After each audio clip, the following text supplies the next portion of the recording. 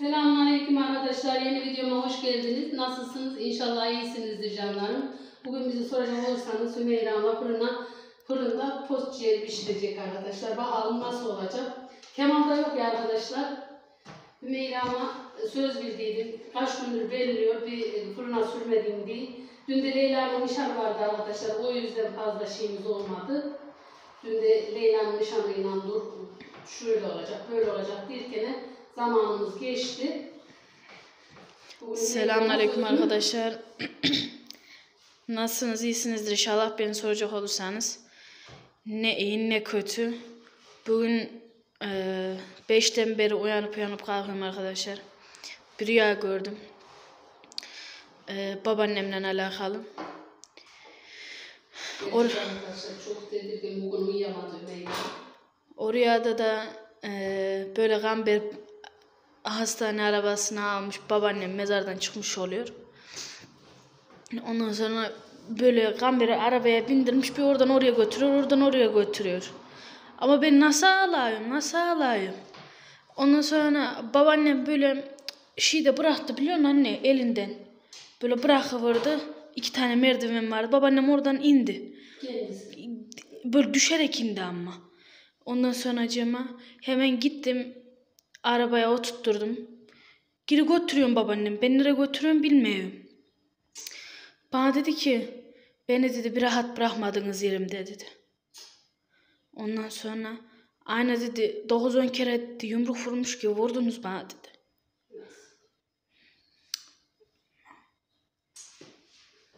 Evet arkadaşlar gerçekten konuşisini atamadı.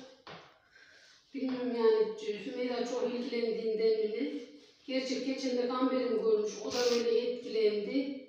Rüyalarında görüyorlar babaannelerini ama babaannelerinin çocukların gerçekten de çok iyi bir vakit geçirdiler. Hiç babaannelerine kırmadılar, yok bile demediler ya. Galiba onun yetkisinden mi, onun sevgisi, saygısı mı var? Gerçekten de öyle yani. Bilmiyorum, çok üzülüyorum. Onun öyle değil acayip böyle zoruma gitti acayip değişik oldu. Öyle değil. Ben dedi yerimde yatırmadınız dedi. Dün çağrım aldılar diyecekti Hümeyra onun etkisiyle hani.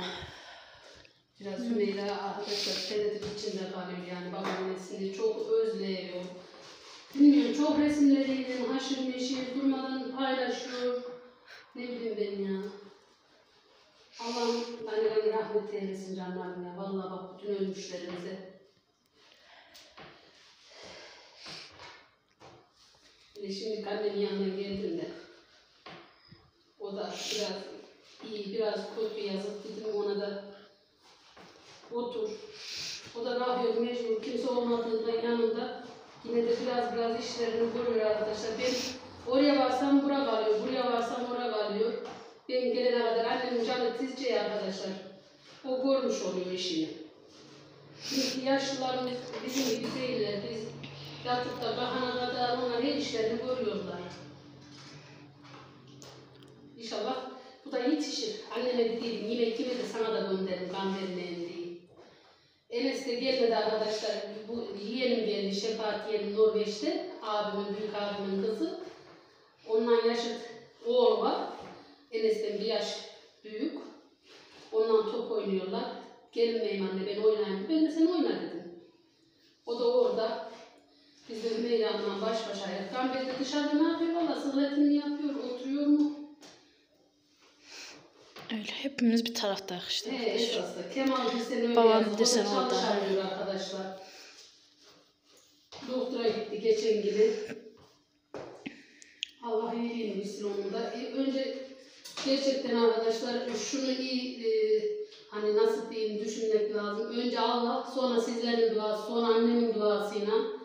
Yani bazen düşünüyorum Kemal'a hadi diyorum üçüncü kat olsaydı, hadi ikinci kat olsaydı diyor. Hani diller ya birinin sadakası vardı, yaptığı iyilikler başı gelir diller ya. Gerçekten de öyle yani. Allah hep korumuş işte. Herkese sağlık, sıhhat versin. Kazasız, belasız çalışmak nasip etsin. Sağlığın olmadıktan sonra paran da olsa, yiyecek ekmeğin de olsa her şey haram. Kurban olduğum Allah sorunlar oluyor arkadaşlar. Aynen. Akşam valla nişandan geldik. Saat 11 idi. Alp ablamı da salmadım arkadaşlar. O da bayılır zaten makarnaya. Burada bir sebzeli makarna yaptık. Ondan sonra cırma.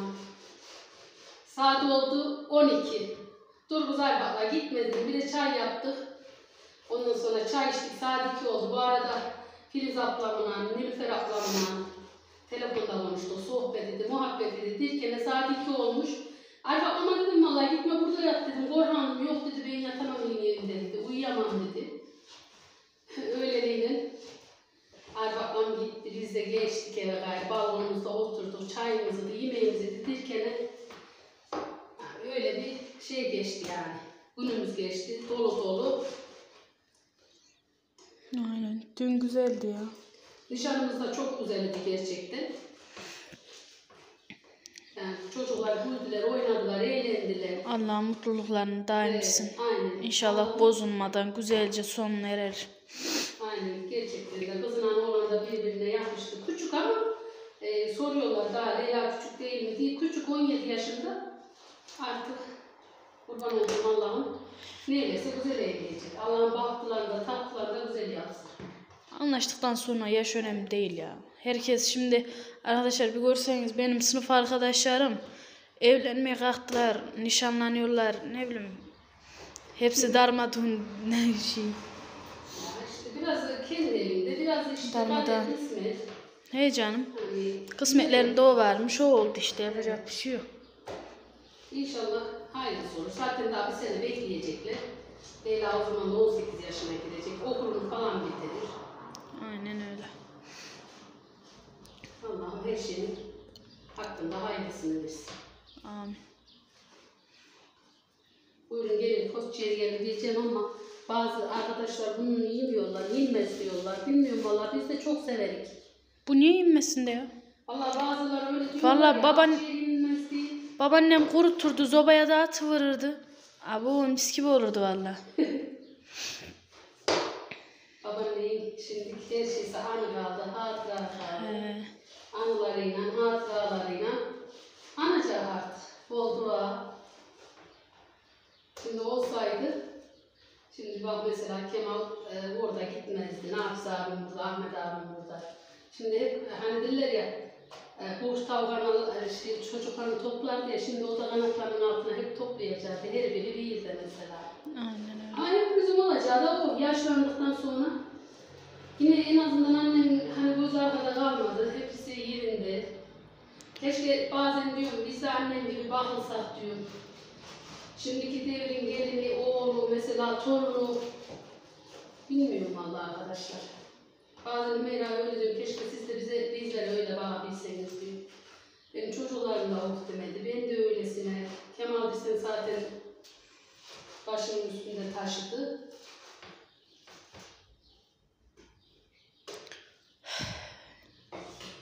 Oldu o zaman arkadaşlar. Bize afiyet olsun. Görüşmek üzere. Kendinize iyi bakın. Niye yemeği göstermiyorsunuz diye sorarsanız arkadaşlar. Ee, şimdi ben bunu zaten tuzlayacağım, baharatlayacağım, fırına süreceğim. Hani e, kimin vardır, kiminin yoktur, canı istemesin gibicesine. Onun hakkına girmeyelim.